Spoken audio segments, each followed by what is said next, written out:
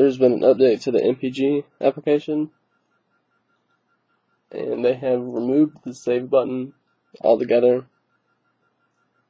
Now MPG will automatically save